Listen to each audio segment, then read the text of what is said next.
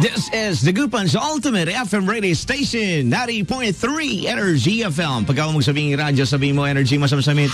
Coming to you live at the fourth floor at Johnson Building, AB Fernandez Avenue, Dagupan City. Ang Energy FM Dagupan ay hindi lang po napapakinggan sa syudad po ng Dagupan at hindi lang po sa buong probinsya ng Pangasinan. But we are also heard coast to coast and globally sa ating pong Energy FM Dagupan FB page at sa ating pong mga A-Radio portal. Welcome na naman po sa isa na namang edisyon ng Tapatan ni Pangga 2022. This program aims to assist and educate our fellow Pangasinense, lalong-lalo na po dyan ho sa mga babae natin sa may binmalay, mga binmalenyan, sabi nga nila na po, atin pong ihimay-himayin, atin pong kakausapin, kikilalanin ang mga kasulukuyan ng mga nagbabaka sakaling maluklok sa pwesto. Welcome po sa Tapatan ni Pangga 2022 at ngayong araw na to mga kaibigan ako po ay uh, honored na ating po mga kapanayam. Eh uh, ako po ay uh, humingi kakagad kanina ng ilang impormasyon sa ating po mga katapatan or guest ngayong araw po. Dati rin po pala itong uh, tumakbo bilang uh, uh, barangay Kagawad. At naging uh, three-termer vice mayor po at siya po ay currently po ng barangay sa Malindong Binmalay. Mga kaibigan, we have Honorable Pedro Pete Abalos Merera. Good morning po, Sir Pete. Good morning, uh, morning to sa ating uh, host ngayon. All right. Uh, welcome po sa ating uh, Tapatan ni Pangga 2022. It's an honor po na kayo po ay amin pong uh, makapanayam. Bago ko natin simulan ng tapatan po, uh, uh, Vice uh, Mayor Pete Merera, eh, kumustahin ko muna po kayo. Kumusta po kayo? Okay lang, no problem at all. Alright. Parang may tumatawag wata sa inyo. okay. 16 minutes past the hour of 10 o'clock in the morning. Eh, uh, umpisa na ho natin ang ating tapatan ni Pangga 2022. Pero bago natin umpisa niyan, gusto ko lang pong ipaalam sa atin pong guest na meron pong oras lahat po ng atin pong mga questions na atin pong i-dish out. Ngayon po, pag narinig niyo po to ang buzzer na to, we move on to the next question. Hindi po ibig sabihin na hindi nyo po natapos ang uh, oras ninyo sa ating pong unang katanungan. Pagka ganon ay hindi po ito magki-carry over or uh, papasok po dun sa susunod na question natin. Ready na po tayo? Uh, Honorable Pete Merera? Ready na daw po. Let's uh, have our first tapat na katanungan and this deserves one minute. Isang tapat na katanungan. Sino po si Honorable Pedro Pete Abalos Merera? This is one minute. Your tapat na kasagutan ngayon na. Okay, una-una, uh, magandang uh, umaga sa lahat na mga nakikinig sa 90.3 Energy FM. Ako po si Pete Merera, isang engineer by profession. Isa pong naging barangay kagawad, naging 9 years term as a vice mayor in our town, Binmalay. And uh, currently, a barangay captain. Ito po ay anak po ng dating mayor na si Attorney Roberto Merera na siya ay naging uh, judge din ang aking ama. Of course, ang aking anak ay ang aking ina ay uh, isa rin uh, naging judge din si Attorney Corazon Merera. Um, at the same time ay isa rin siyang negosyante for 37 years. Uh, maraming salamat po sa inyong uh, first tapat na kasagutan sa ating tapat na katanungan. Panibanga 2022. Our next tapat na question will deserves 5 minutes. Isang tapat na tanong, ano po ang nagpapalakas sa loob at isipan ni uh, Honorable Pete Merera na ngayon po ay tumakbo muli bilang mayor po sa bayan po ng Binmalay. Your 5 minutes starts now. Tulad ng nasasabi ko, ay I'm a former vice mayor in uh, Town Binmalay. So ibig sabihin yan ay nakapagsilbi na tayo bilang isang uh, uh, tapat na maglilingkod sa ating bayan. At the same time ay uh, gusto ko lang ipagpatuloy ang aking mga mismong uh, nagawa noon during my time as a uh, nine years uh, term as a vice mayor. Alam po natin ang pagsiservisyo ay uh, nasa puso. Hindi lang yung puro na lang tayo na uh, ginagawa natin ay dapat pag-iisipan natin dahil kailangan ng taong bayan. So, pag sinabi natin kailangan ng taong bayan, dapat yung tapat na paglilingkod. Being a barangay captain sa kasalukuyan ay nakikita po ko, nakita ko po sa lahat ng mga mga da, mga kabarangay ko ang daing ng kahirapan. So ibig sabihin, we have to try to resolve anything anything that is uh, uh, pangangailangan ng taong bayan. Kasi kung hindi natin gagawin 'yan, ay uh, wala ng uh, direksyon ang ating uh, mismong bayan. So, para sa akin, ang uh, priority ko ay um, unang-una yung mga bagay na pangangailangan. At uh, mamaya, uh, i-detail ko lahat ang mga bagay na pangangailangan ng bayan ng ating bayan Binmalay. Of course, uh, nagpapasalamat ako dito sa 90.3 dahil uh, nagkaroon tayo ng tapatan dahil yung tapatan na yan ay ma- makikilatis natin lahat ng mga kandidato. At yan ay uh, buong puso ko na ako'y uh, maglilingkod sa ating bayan tulad ng ginawa ko during my time as uh, nine years uh, Vice Mayor in Airtown, Binmalay. Maraming salamat po sa iyong tapat na kasagutan. Now let's move on naman po sa atin pong next tapat na question. Pero bago ang lahat, eh, gusto ko na muna pong uh, batiin yung mga kaibigan natin. Andyan po sila, Pam, go dad! Sabi ni Pam Merera, nakatutok po si Pam, sir ha. We're proud of you, sabi dito. Elizabeth Banyas Kasing, uh, Kasinggal, sabi, happy coffee break. And uh, Tanya uh, Merera, good morning also. Hi there. Uh, kay Bernard Lagahit, kailangan namin ng mayor tapat, si Lolo Pete Pedro Merera. Go Mayor from Eugene the Twin. Rihanna Luis watching all the way from UAA. Mabuhay po kay Engineer Pete Merera. Uh, Marlene De La Cruz, napapanood namin kayo dito sa Manila. Bayan FB, Go Mayor Pete Merera. Uh, solid. Uh, Go Mayor Pete, again from Ilalo na Karaklan. Mga pangga, we move on sa ating next tapat na katanungan at uh, gusto rin pong ipaalam sa inyo ng ating pong mga lines na dapat yung uh, pagdalhan ng iyong mga questions. We have 0912-782-5884, 0912-782-5884. Pumayag po ang ating pong guest sa ating No Holds Barred. This is 5 minutes. Isang tapat na tanong, ano po ang mga plataforma na nais ilatag ni Honorable Pedro Pete Merera sa bayan po ng Binmalay? Limang minuto po to. Sir. Napakaganda na naman uli na tanong na yan. Kung baga sa plataforma, marami tayong plataforma. Una-una ang edukasyon. During my time as a 9 years uh, vice mayor, alam po natin na si Pete Merera po ay hindi nagkulang sa edukasyon. At yan ang parating uh, tinututukan. Nandyan yung uh, noon um, uh, libreng gupit ni Pete yan sa lupa mo yung simpit untan mo ito sa rarami chinelas. At the same time, nagkaroon po tayo ng mga libreng uh, electric fan sa bawat rooms ng buong uh, 33 barang uh, 33 barangay in our town Binmale. At doon pa ay uh, tinano, tinatanong-tanong ko, umiikot tayo noon sa mga teachers at uh, yun nga, mga daing nila, kakulangan at tinutuguan na natin ng pansin noon during our time. Pangalawa, ang ating uh, ano kalikasan. Nakikita po natin na medyo nakakaroon ng climate change. So, yun ang bigyan natin ng tugon lalo na sa mga kailugan. Kailugan na alam po natin mabababaw na at nakikita po natin yung mga merong mga palaisdaan ay uh, nagkakaroon po ng problema, nagkakaroon sila ng stress during yung sa mga dumarating na kalamidad tumatakbo sila sa kailugan at nag, alam po nila na they are investing so much. They are may, having a, a big capital. So ibig sabihin yan we have to give them the protection. Yung protection na yan ay dapat lang gawin natin yan. Kasi pag nawalan sila ng uh, mismong hanap buhay marami rin magiging problema Pangal, pangatlo, yung mismong basura. Kasi hey, we will not, we could not invite investors kung ang bayan natin ay marumi. How do we resolve this uh, problem? Marami pong uh, sistema po ang ating uh, gagawin dyan sa ating bayan tungkol sa basura. Dahil alam po natin, malaki ang binabayaran natin sa basura pa lang ng ating uh, gobyerno. Kaya gagawa tayo ng sistema para mapaliit ang mismong pagbabayad na yan. And others, ay marami pa rin yan na uh, lalo-lalo na sa ating palengke at lalo-lalo na rin sa mga negosyante. Okay, maraming salamat po. Uh, you still have uh, 2 minutes and 30 seconds. You wanna continue pa ho or we move on to the next question? Yun na nga po. Uh, marami pa, ano, uh, nakikita ko rin sa mga traffic situation natin, bigyan din din ng tugon.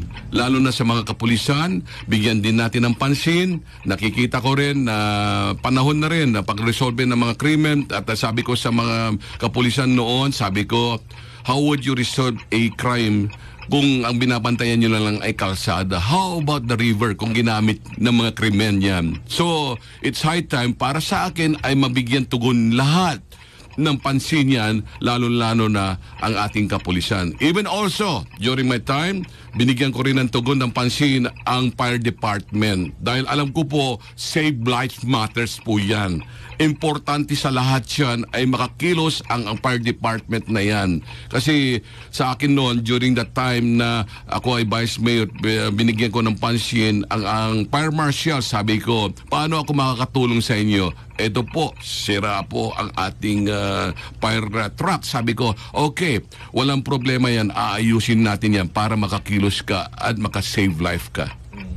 Alright, maraming salamat po sa iyong ah, tapat na kasagutan, uh, Honorable Pete Berrera. Now, let's move on naman po sa ikaapat nating tapat na katanungan sa ating pong guest.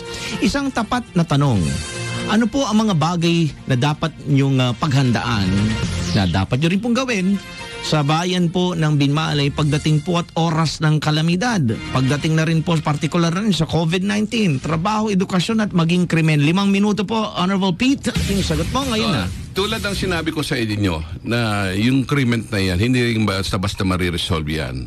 Unang-una, ang uh, kapulisan ay nakahanda parati sa o- anumang oras yan. So ibig sabihin yan, kung anuman ang oras yan, ay dapat meron din sila mga dapat kagamitan na pagligtas sa mga kalamidad na dumarating. Pangalawa, bigyan din natin ng pansin ang ating um, uh, Rural Health uh, Center. Dahil diyan ay uh, isa rin sila na tumutugon. Sila rin ang frontliners sa lahat ng mga bagay na dumarating na kalamidad. Pangatlo, ang engineering. Kasi ang engineering ay sila rin ay uh, gagkabahagi sa mga bagay na tumutugon pagdating sa kalamidad. Yung tatlo na yan ay ba- malaki ang maitutulong na, lalong-lalo na ang buong uh, sambayanan ay dapat magtulong-tulungan. Kasi hindi rin kaya na isang munisipyo ang mga bagay na dapat na gawin ang isang uh, leader ng bayan kung wala ang pagtulong sa, ang pagtulong ng mga mismong taong bayan. So ibig sabihin, ang taong bayan ay kailangan din ng karoon, magkaroon ng disiplina. Kasi yung disiplina yan ay siyang magbibigay, magtutuwid sa bagay na pagre-resolba ng problema ng ating bayan. Without this, lahat yan ay hindi natin magagawa kung walang tulungan. Nakikita po natin, ha? nakikita natin ang kailugan. O, tulad ng sinabi ko po, maraming problema po dyan sa kailugan. Kasi la, dapat natin paghandaan ang climate change. Pag sinabi natin ang climate change, we will ask uh, our our uh, national leaders, our provincial leaders kasi hindi rin matutugunan ng municipal leaders 'yan. Kaya tayo ay magkakaroon ng uh, uh, dialogue with all these things para lahat ay magagawan at magagampanan. Kasi mahirap mag, magbigay ng sa bagay na hindi tayo i-communicate ang mga bagay na, na, na nakakataas sa atin, especially sa the national, provincial. Yun lang po. Thank you very much po, Honorable Pete Merera. Now, ang susunod naman pong katanungan natin, mga kaibigan, ay uh, is deserve only one minute po. Uh, this is your insight. Gusto po namin malaman ang inyong opinion. Isang tapat na tanong, ano po ang masasabi nyo sa no bakuna, no labas policy? At ganoon na rin po sa no sakay, uh, no bakuna, no sakay policy na maaari pong magkaroon ng domino effect hindi lang po sa probinsya, ganoon na rin po sa bayan po ng Binmalay. This is one minute. Ngayon na. Okay, napakagandang tanong yan. Ano? Ala, alam mo, unang-una, we have this uh, human rights uh, natin na pinag-uusapan. Pero the question is, pakiusapan natin ang mga tao na sumunod sa mga lahat ng protocol. Kasi sila rin ang makikinabang. Sila rin ang uh, magkakaroon ng problema sa kanilang mga pamilya kung hindi man lang sumunod sa bagay ng eh, pinapa, pinapautos ng ating gobyerno. Yun lang ang masasabi ko sa inyo. Bilang ako leader, ako kompleto lahat. Kasi kahit papano, uh, to be a good leader, you should be a good follower. Kaya dapat lang natin na lahat ng bagay na, na, na, na naririnig ng mga taong bayan, sana nga sumunod tayo dahil yun lang ang makakaresolve sa ating uh, bayan, sa ating bansa. Thank you very much po, uh, Honorable Pete Merera. Tapatan ni Bangga. 29 past the hour of 9 o'clock. Hayaan niyo muna po akong uh, basa- basahin lang pong ilan sa mga pagbati. At this juncture, Honorable Pete, we have 83 viewers and counting. Sama Austria, Adnara, Nilaloan ng Saman, Yanggad Natan, Matulong Lawas, Saray Tutuon, uh, mga ngailangan from Sam from Austria. Rico, sabi dito, hi there. Orlando Ferrer, Kabwasan, si kayo, amen. Go, go, Sarpit, lalo na Balay na Binmalay. Ah, tama po yan, ma- from Marlene de la Cruz. Bernard Laha, Lagahit, Go Mayor Lolo Pete Medro, Merera number one, kailangan ka namin sa Burgos, we love you po. Go Sir Ninong Pete from Diana Lian, Cereso Abalos, Whitehall. Salamat po.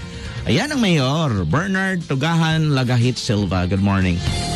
0912-782-5884 at siyempre 0955-976-34. Yan po ang mga linya na dapat nyong i-text para sa inyong mga katanungan. By the I would like to take this opportunity na pasalamatan ulit ang atin pong uh, Water Market Kalasyaw headed by of course si Sir DJ Ocampo sa iniinom po naming tubig dito ngayon ni uh, Honorable Pete Merara.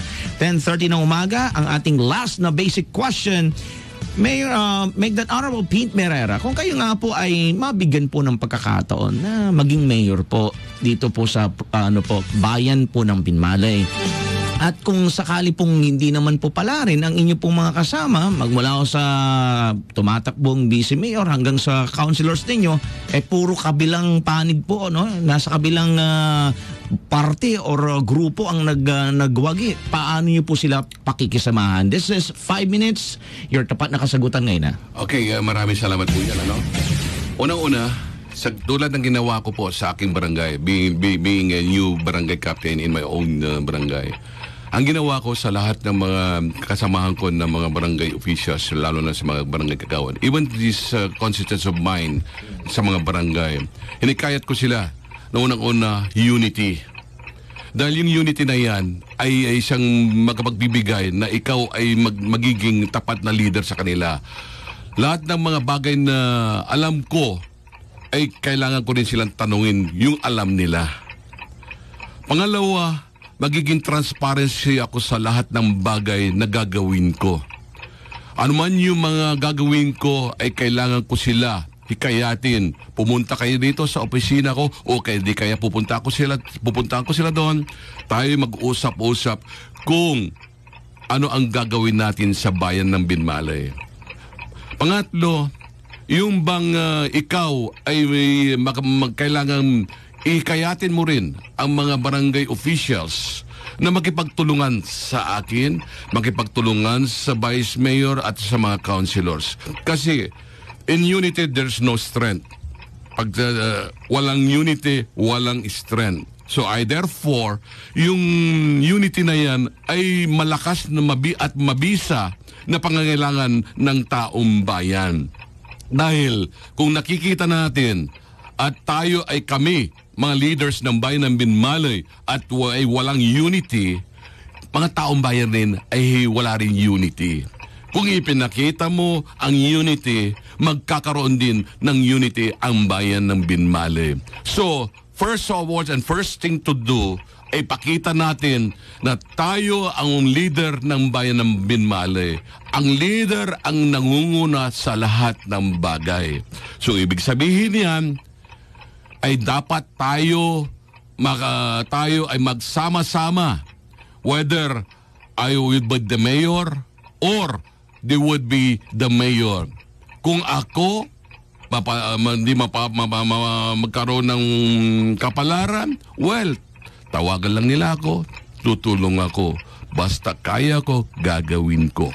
Yun lang ang masasabi ko na importante ang unity sa bagay na pan, lalo na sa pandemyang ito dahil hindi tayo makakakilos kung tayo ay puro politics ang pinag-uusapan. That's all. Maraming salamat po, Honorable Pete Merera ng Binmalay. Ako, mga kababayan natin dyan, Binmalayans. Ito na po yung No Holds Barred. Nakaasahan na po natin ang pagpasok po ng mga questions. Uh, Honorable Pete Merera sa ating pong uh, text lines na 0912 782-5884 at ang 0955-976-34. We, by the way, we also have our staff from Energy FM Dagupan who are accommodating all the questions, queries po coming in sa ating pong uh, ano po, FB page. So, so Honorable Pete, eto na po siguro. Banat, uh, bigyan na natin kagad ang first question natin sa ating pong mga text lines uh, sa mga kababayan ninyo sa Binmalay. Yes. Ano po ang priority project ninyo para sa mga magsisigay? Yan po ang unang uh, question. Tama-tama nga yun, ano, magsisigay. Ang magsisigay po ay isa rin na pangkabuhayan yan. So, ibig sabihin yan, titignan natin ang bagay na makakatulong sa kanila, lalo-lalo na sa kailugan at sa karagatan. Nakikita po natin na sa panahon ng pandemya, marami na apektuhan sa pagsisigay. So, pagdating ng araw, makikita ko na ang problema ay uh, ganito, So, we will call the attention. Kasi gusto ko, tulad ng sinabi ko, na magkakaroon ng unidad, magkakaroon ng boses sa bayan ng Binmale. Hindi harapin ko lahat ang bagay na problema ng bayan. Dahil yang magsisigay na yan ay malaking tulong sa bayan ng Binmale. So, sa mga magsisigay, pagdating ng araw, at nandyan po ako at binigyan niyo po ng pagkakataon na maging mayor ng bayan ng Binmalay. Ang sabi ko po sa inyo, lahat po ang gagawin ko po ay magiging transparency abot sa inyong mga kakayahan, abot sa lahat ng dapat yung malaman. Ang aking uh, aki, ang, ang munisipyo ay lahat lahat ng mga ay magiging transparency alam uh, malalaman nyo lahat yan. Wala po akong itatago sa inyo yan. Okay. All right, let's move on uh, from Texter 54447. Good morning po. Sir, sino po ang governor niyo po? Sa governor ko po? Well, uh, ang governor ko po, kung sino po ang magsisilbing tapat sa ating probinsya. Yun po ang aking gobernador po. Sa congressman po, kung sino magsisilbing tapat sa aking distrito, lalo-lalo na sa bayan ng Binmalay. Okay. Texter 88521. Kuya Jay, patanong lang po kay Lolo Pete, ano po ang gagawin niyo para makumbinsi po ang mga negosyante para magtayo ng uh, negosyo? At uh, kaya niyo ba si Django Kungwi na matagayon ng ganyang mall sa Binmalay? Well, uh, pagdating sa mga ganyang bagay, ano, uh, yung unang-una natin ay yung i-resolve mo natin yung problema sa ating bayan. Hmm. Kasi alam mo, ang bayan ng Binmali ay sandwich. Ibig sabihin yan, magkakaroon tayo ng bagay na amiendahan ng mga ordinansa, especially sa mga tax ordinance. Hmm. Kung pwede natin mismo pababahin, gagawan tayo ng remedyo na pababahin kung kaya natin na uh, tulungan ang mga negosyante, especially when it comes to mga rentables, sa mga bagay na dapat nilang uh, uh, dapat nilang uh, gawin o may tulong ng uh, munisipyo ay gagawa tayo ng remedyo. Lalo-lalo na sa mga fish pond owners. Tulad ng sinabi ko, mariresolve lang ang mga problema na yan kung bibigyan natin ng pansin ang mga riverside kasi alam po natin nagkakaroon po ng climate change. Yung climate change na yan, dumarating aga, uh, hindi natin alam, dumarating sa ating uh, uh, paligid, nagkakaroon ng baha. So, ibig sabihin yan, ay tugunan natin lahat ng pansin yan. Kasi, kung hindi natin gagawin yan, ay uh, walang mangyayari. How would we invite investors kung marumi ang bayan? So ibig sabihin, try to resolve first lalo na pagtatapunan ng basura, alam po natin na, na nagiging problema yan. Alam po natin kahit sino man, kahit anong bayan yan, anong syudad yan, ang problema ay puro basura. So ibig sabihin yan, before before uh, before you have to invite the investors, kailangan nakahanda muna ang munisipyo bago ang lahat para pagdating ng investors. Kasi ang investors nag-observe yan kung ano ang meron sa bayan, bayan mo.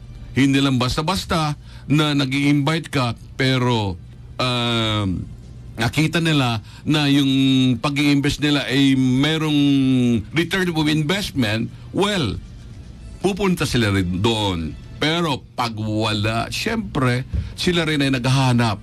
Ah, eh, nakikita man natin, ha, nakikita na, even in Dagupan, nakikita mo, nandito ang Schumert. Kasi nakikita nila, yung investment, ah, yung return of investment nila ay meron talaga you will invest uh, big amounts of capitals tapos uh, return of investment eh wala eh talagang it's but normal yan kaya dapat lang yung mga bagay na ano na um, pagtugunan lalo lalo na ang ating traffic situation lalo lalo na ang ating um, sa krimen oh, how would we how would we invite with with this kind of situation. So dapat lang sa mga ating uh, ano ay uh, para magkaroon ng maraming investors ay tugunan muna ng pansin ang problema sa bayan ng Binmali. All right, we have a texter sabi niya, Good morning, Jay Uriles. Texter 0305. Ako po ay nagda-drive papunta po ng uh, Dagupan at nakikinig po ako ng tapatan. Ako salamat naman. Ah, wag mo nang banggitin ang pangalan ko. Pwede ko bang tanungin kay ah, Pete Merera or Honorable Pete Merera, ano po ang plano ninyo po dito sa Benmalay? Long stretch lang po ito pero madalas po magka-traffic. Yun nga, tulad po sinasabi ko nga sa, sa kanila, uh, yun nga, traffic situation. Kasi we could not invite investors with this kind of traffic. Kasi mahalaga yung oras ng isang tao, mahalaga ang oras ng pagbiyahe, lalo-lalo na mga perishable goods. Pag once na nagkaroon po ng traffic, nagkakaroon po na ng problema. So I therefore, yung mismong traffic situation, kaya nga tulad po ng sinasabi ko sa inyo, na first thing first uh, foremost is to resolve the traffic situation. Alam po natin, nakahanda pong mga kapulisan at uh, dapat din pagtugunan din natin ang mga kapulisan na bigyan din sila ng mga kagabitan para ma-resolve ang ating bayan bin ah, traffic ng bayan ng Binmale. Kasi growing population po ang ating ah, bayan Binmale. At the same time, nakikita po rin natin, lalo-lalo na sa ating ah, karagatan, marami rin na mga turista o kaya mga mga mismong ibang-ibang lugar na dumadayo sa ating ah, bayan Binmale. So, we have to be prepared enough kakausapin din natin ang mga barangay to get involved with this, mga nasasakupan nila to get involved with this traffic situation. All right. Uh, next question natin mga kapangga, ano po ang m- paano niyo po maipapabalik ang karangalan ng Binmali bilang Bangus Queen of the North? Well, ah, napakaganda yung tanong na yan, ano. Before, nung aking ama, ang aking ah, ang mayor ng bayan ng Binmale, we have this feast center. Feast Center of Pangasinan. Nauglot lang nung siya'y wala na. So, yun ang pagtutugunan ko kasi alam nyo, ang ating bayan na Binmali, 70% is uh, water at karamihan ng mga supplier ng ating bangus sa ating bayan ah, dito sa siyudad ng Dagupan ay coming from Binmale. So I have to uh, uh, re- return this fish, uh, fish center na dati na pinag uh, uh, pinagmulan ng aking ama nung siya pa ay mayor ng bayan ng Bimalen na si Atty. Roberto V. Merera na the first uh, fish center of Pangasinan na, na noon ay nagkaroon na ng uh, uh, maraming konsignasyon na sumuporta sa kanyang adhikain nung siya ay mayor ng bayan ng Binmale. All right, 10:43 in the morning mga kaibigan. I'd like to uh, inform our viewers and listeners that the views and opinions of our guests do not necessarily reflect the views and opinion of the host, the station, and the network. Furthermore, that the views and opinions and insinuations of the host or even the guests do not necessarily reflect of the show, the network, and the company. So ito po, ang iba pa hong mga katanungan mula naman po sa ating texter 7620. Ano po ang inyo pong masasabi sa dalawa pong kandi- tumatakbong mayor po na nagbabangayan dyan sa may Binmalay? Ito masasabi ko lang po, no? Wala po akong masasabi sa kanila. There, uh, sila po ay nagkakaanuhan sila ng opinion. Uh, I respect their opinion. Kung sakaling sila ay nagbabangayan, para sa akin, ang masasabi ko lang sa kanila, magkaroon tayo ng unity kasi ang tinutugunan ng pansin ay ang ating bayan Binmale. Mahalin natin ang bayan ng Binmale, yan ang pinaka-importante para sa akin. To sa dalawang aking ah, minamahal na katunggali, mahal na mahal ko yan, mga yan. Kasi they're like my brothers. Kasi si uh, lalo-lalo na yung isa nung napunta sa aking ah, aking um, ah, aking ah, barangay, sabi ko, mamili na lang kayo. Tinaas ko pa yung kamay na niyan eh. And the other one, sabi ko, well, ah, decision mo yan. Kung ano man yung ano mo tatakbuhan mo. No problem at all. Basta ang sa akin is unity lang, sabi ko. Kasi para sa akin, mahalin natin ang bayan Binmale. Huwag na tayo magkakasakitan dahil ang ang we are leaders. Yun lang po ang masasabi ko. Alright. Okay, Texter 8862. Ano po ang pagkakaiba po ni Pete Merera sa iba pa hong tumatakbong mayor? Ang um, pagkakaiba ni Pete Merera ay malawak ang pag-iisip lalo-lalo na sa ekonomiya. Nasasabi kong ekonomiya dahil unang-una I've been a businessman for 37 years. Nakikita ko ang nagiging problema ng bawat uh, bayan, bawat uh, probinsya dahil alam niyo po ang aking negosyo ay ma- malawak ang aking uh, uh, nahawakan.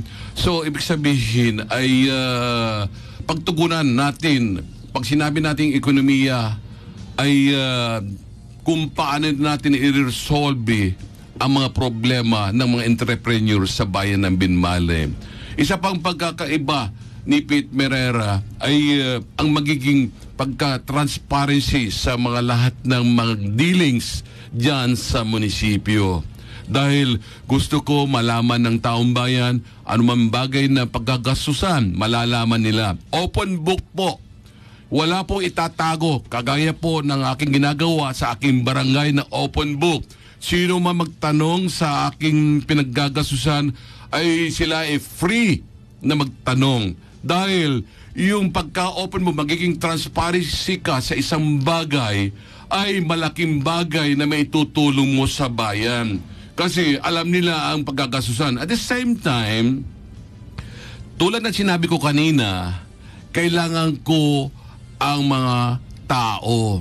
Kailangan ko ang mga leaders. Kasi mga leaders na yan, maraming alam.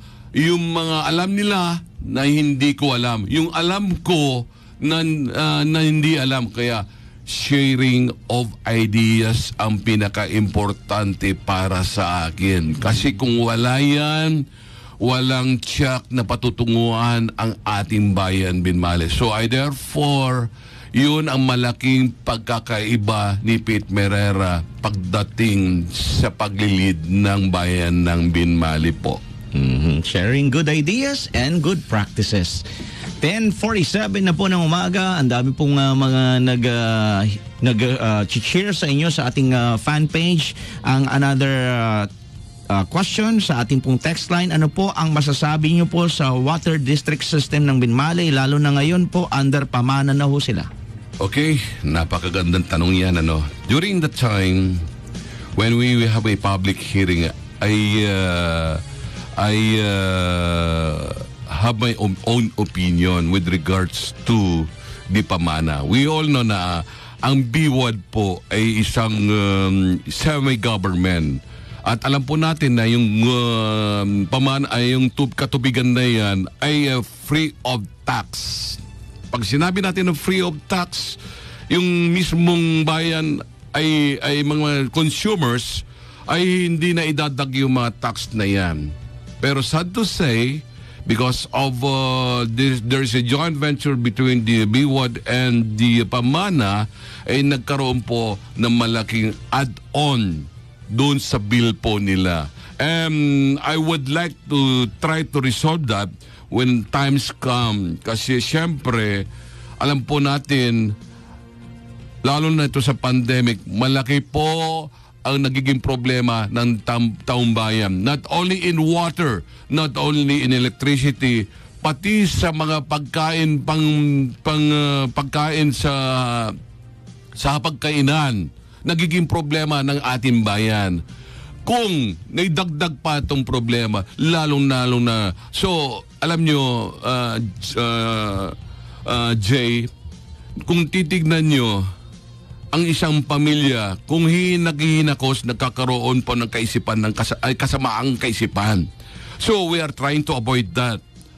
Para ang ating uh, bayan ay magkaroon ng peace sa ating uh, kapaligiran at ikaw ay magkaroon ng kahit maglakad ka man ay wala man lang uh, hablot sa iyo kung anuman bagay, eh dapat lahat ng problema, we have to try to resolve this problem. Kasi kung hindi natin magagawa ng, at hindi natin matutugunan lahat yan, magkakaroon po ng chaos sa bayan ng Binmali. I, I do hope na sana itong pamana po yan ay uh, sana ay mabigyan din ng uh, pansin ang consumers kasi nahihirapan sila ngayon.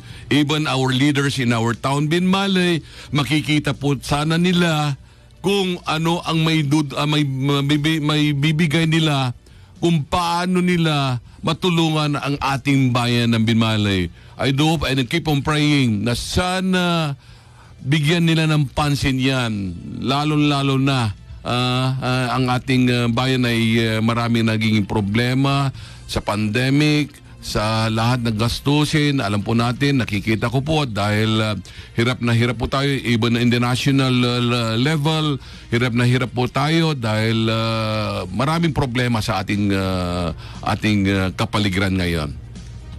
All right, let's move on with another text question. Uh, 0956, sabi niya dito. Sir, uh, tanong ko lang po, this is your third time po na tatakbo po ng pagka-mayor. Kung sakali pong hindi pa ho kayo palarin itong susunod na pagtakbo ninyo, eh tatakbo pa ho ulit ba kayo sa susunod na eleksyon? Well, uh, alam niyo po, tumatanda rin po ako, no? I have to give way kasi unang-una, I have also my family. Yung pamilya ko muna ang uh, ayusin ko dahil uh, syempre um, naibigay ko na po ang nararapat ko. Sa tatlong uh, paktakbo ko po yun, sakripisyo para sa aming pamilya. Kalahin nyo, Ah, sino ba ang taong gustong tumakbo? Marami diyang tumakbo, first term lang, natalo. Anong ginawa nila? Ayaw na nila sa pangalawa. Dahil unang-una, hirap din sila sa mga bagay na dapat nilang gawin. Pangatlo, ako lang ang pangatlong tumatakbo. Bakit gusto kong tumakbo ng pangatlo? Dahil gusto, ang pagmamahal ko sa aking bayan ang pinaka-importante sa akin.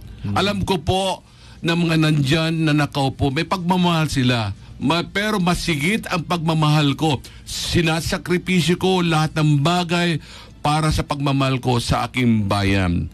Kaya, ito po ay ah, sana ang aking ba, mga kababayan, sana maintindihan niyo po kung bakit pangatlo na na nandito pa rin ako dahil mahal ko kayo. Hindi ko kayo iniwanan kahit papano na nagsasakripisyo po ako sa inyo. All right. eh, Another comment right now, Texter 7103. You have a very strong personality, Mayor Pete Merera, and I like you. Sana po manalo ka ulit. And manalo ka na daw po sa pagka-mayor. Ito, i-comment ko na isang texter natin. Aha. All right. Uh, Sir Pete, ano po ang plano niyo po sa mga tricycle driver na kagaya namin? Nako, hirap po kami sa buhay ngayon dahil wala akong kita. Maliit daw po kita nila. Yun nga po ang nagiging problem. Tulad ng sinasabi ko sa inyo, talagang uh, dito during this pandemic, marami problema. Pero yung problema na yan, sabi ko nga sa inyo, walang problema na walang solusyon. Ngayon, paano natin mabibigyan ng solusyon ang isang problema katulad ng mga tricycle na, ya, na yan? Alam po natin na nagdidepende lang sa kita nila. So, ibig sabihin niya, unang-una, magkakaroon tayo ng proper arrangement sa mga tricycle. Kasi, ang proper arrangement na yan ay siya makapagbibigay. Kasi, inoobserbahan ko ang mga tricycle driver. Minsan, kung minsan meron tayong tinatawag na words na, ano, I will just only use these uh, words na buaya. Minsan, sila ay ano, ah, kahit na ano, kinukuha nila yung mga ibang pasahero. So, ibig sabihin, sana magbigayan sila. So, ibig sabihin, magkakaroon ng proper alignment para sila ay kikita. Pangalawa, nakikita man natin na yung mga ano natin ay uh, meron silang sapat na ano alam po natin na mayroon silang mga permit na binabayaran permit uh, yearly yun nga amiendahan po natin yan kung pwede natin bawasan, babawasan po natin yan. Dahil alam po natin yung malit na bagay na pagbawas sa mga tricycle driver na rin, malaki na rin tulong na yan. At the same time, nakikita ko rin na yung mga yung mismo na yung araw-araw na pag-i-standby ng mga tricycle driver na yan, alam po natin na may kahirapan yan. Yung pag-aantay ng ah, pag-aantay ng mga mismong pasahero, malaking stress na sa kanila yon. Kasi unang-una, nakikita natin ang uh, climate change, mainit kuminsan. So, we will have to decide. Being an engineer, I, I, have- I want to make a uh, design for them na magiging ma-repress sila. Pero titignan ko yung mga lugar na kinakatayuan nila before I have to uh, do this uh, planning. Kasi alam mo naman ang uh, mismong ang isang inyero more on planning. Kaya dapat lang natin na ang yung plano na yan ay kahintulad kaparehas doon sa mismong na gagamit ng mga bagay na yan. Kaya dapat lang na pagtugunan lahat ito ang problema ng mga tricycle. Alright, texter. Sa 76886. Uh, you've been advocating honesty at katapatan po kung kayo po'y maging mayor at may mahuli po kayong korap o magnanakaw sa inyo pong administrasyon, ano po ang gagawin ninyo? ay tulad ng sinasabi ko nga sa inyo, transparency ay kailangan kasi eh, meron tayong court of law at uh, meron tayong human rights violation, may, may human rights tayo commission. At hindi naman basta-basta na mm, pag sinabi mo may corrupt, eh gagawin mo eh corrupt ka. No idadaan na, na, idadaan natin sa masususing investigasyon kung yung tao na yan ay may corruption. And then at that's the time, we will use the court of law. Kasi paano mo masasabi isang bagay kung mayroon na hindi mo pa na-imbestigan tapos bigla mo na lang siya, bigyan mo siya, ay corrupt ka, ikaw ay aalisin. No. Meron din silang karapatan bilang empleyado, bilang opisyal, ay dapat lang dadahan, dadaan lahat sa proseso. Alright, that, that's a nice answer. Paano po ang housing para sa mga squatters, lalo-lalo na yung mga nasa tabing ilog? Well, uh, napakagandang ano, tanong yan, ano? Kasi yung mismong uh, nakatira dyan sa mga kailugan, alam po natin na sa, dahil sa kahirapan, ay uh, na nagbibig uh, kumbaga tumitira na lang sa kailugan. Ngayon, ala, nandyan na sila, no? Nandyan sila. Ang gagawin na lang natin ay uh, gagawa na lang tayo ng uh, mismong uh, bagay na magagamit nila. Kasi, alam mo, lalo na sa mga kailugan na yan, ah, yung mga mga dumi nila tinatapon nila sa ano eh tinatapon nila nila sa Ilog mismo. sa ilog mismo. So ibig sabihin yan yung mga bagay na yan ay bigyan natin ng planning. Kasi hindi mo naman basta-basta paalisin yan eh. Saan mo sila ititira? Hundreds na houses ah, 200 300 saan mo sila ititira? Kumbaga i-planning mo na lang para at least yung mga tao na yan ay magkakaroon pa ng ah, mga magagandang ah, let's say yung mismong ah, paggamit ng ah, banyo mga ano mga gamit sa toilet ganon. Bigyan mo na lang sila kumbaga public use na lang. Kasi hindi basta-basta ang pagtatanggal dahil unang-unang nga ay sa kahirapan. Kaya ang tanong ba kaya ba ng pondo ng ating munisipyo Okay, meron tayong uh, na, nagawa nagagawang ah, housing dyan sa Barangay Papagayan. Yung ba sapat pa sa buong Binmali na nakatira sa mismong ah, mga nakatira sa paligid na ah, sa gilid ng Ilog. ng ah, ating ah, kailugan. Kailugan, oo. At saka isa pa, nandyan na rin ang hanap buhay nila. Kung ilalayo mo yun, ano na kaya mangyayari sa kanila? Di maging pabigat na naman sa ah, bayan. Kasi yung mismong hanap buhay nila ay nandoon katabi-tabi nila. Lalo-lalo ma yung mga nasa ilog ng katabi ng ating bayan Binmalay. So, ang the only remedy ay magawa mo ng plano. Alam po natin na yung minsan nga mayroon dyan na yung mga nakatira na, na nakakasakop sa palaisdaan. Okay, yung mga na, nakakasakop sa palaisdaan, siyempre may may-ari yon. Kakausapin natin yung mga may-ari o di kaya yung mga nakatira doon, kung po pwede, huwag din natin ah, abusihin yung mga may may-ari ng palaisdaan. Dahil yan din ay isa rin na ah, kapital din nila para sa negosyo din nila. Yun lang. Uh, kumbaga, pag-uusapan lahat ng bagay yan. Hindi naman makukuha sa basta-basta sa pag-aalis, kung ano man yung bagay. Ay, da, da, yan ay lahat ay dadaan sa magandang proseso. Mm, alright, salamat po. Ah, Honorable Pedro Pete Abalos Merera. Ayan po atin pong nakatapatan ngayong araw na to. Ah, Sir Pete, we are running out of time but of course giving you a chance para ho kausapin ang mga kababayan natin, ang mga naniniwala, mga supporters ninyo.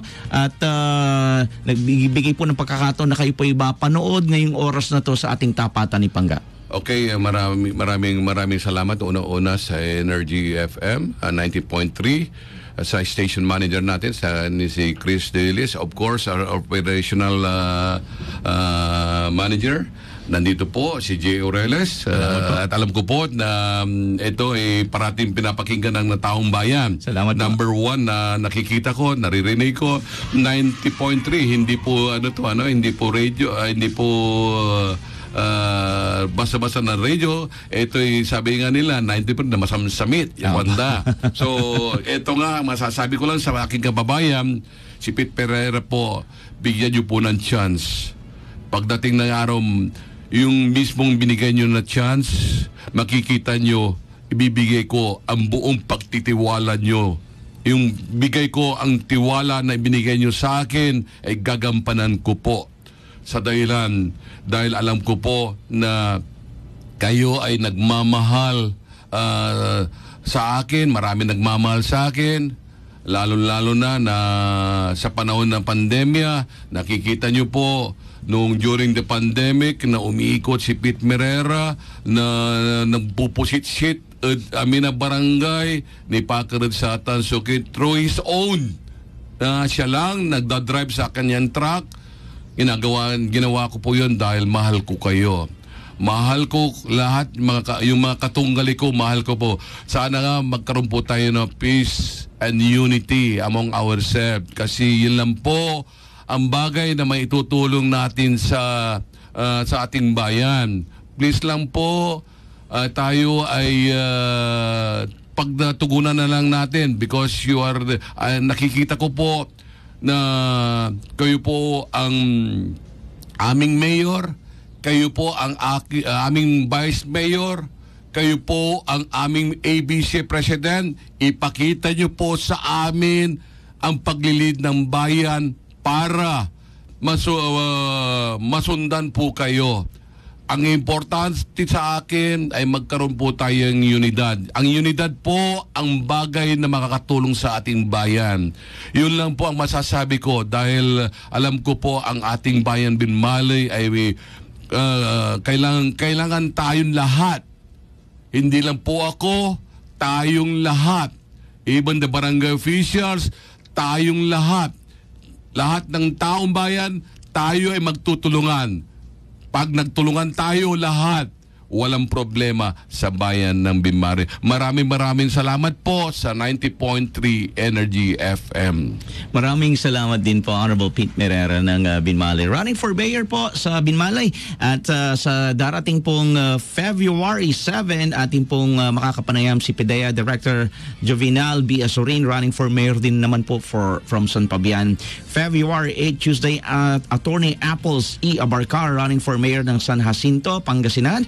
February 9 Honorable Judy Joday Vargas Quiocho running for vice mayor pa rin po incumbent uh, vice mayor ng Lingayen yan. February 10 Theo- Theodore Cruz running for board member ng 2nd District of Pangasinan. Yan po muna mga kaibigan. Muli salamat po sa ating guest at salamat po sa inyong pagtutok dito po sa 90.3 Energy FM Dagupan. This is Tapatan ni Pangga 2022. Tapatan ni Pangga 2022.